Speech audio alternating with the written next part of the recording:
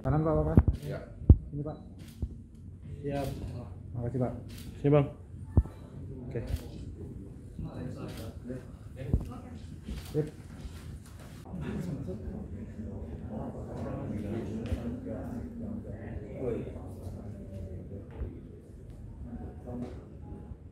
Tidak ada dong.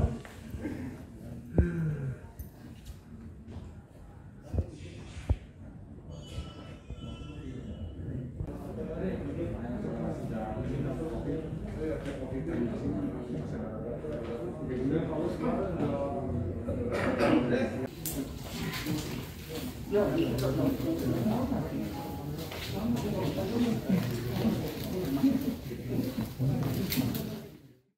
Polres Metro Jakarta Barat berhasil mengungkap tindak pidana penimbunan obat ya. Adapun lokasi TKP itu ada di salah satu ruko di kawasan Kalideres Jakarta Barat ya.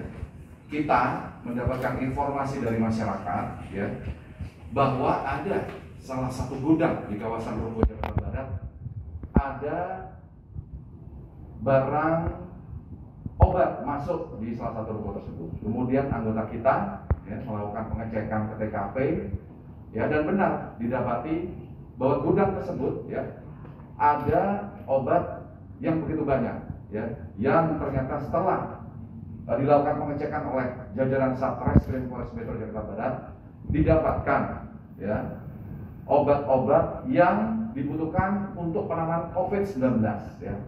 Jadi eh, berdasarkan ya permintaan dari customer, permintaan dari apotek ya untuk meminta obat ini dan juga eh, undangan dari Badan POM untuk melaksanakan Zoom meeting dan menanyakan stok dari obat COVID ini yang selalu dijawab tidak ada dan tidak dilaporkan, tidak kooperatif dan lain sebagainya ya dalam hal pelaporan ya.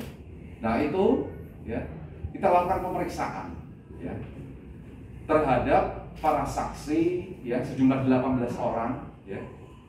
Ya, kemudian saksi ahli ya saksi ahli itu ada lima ya.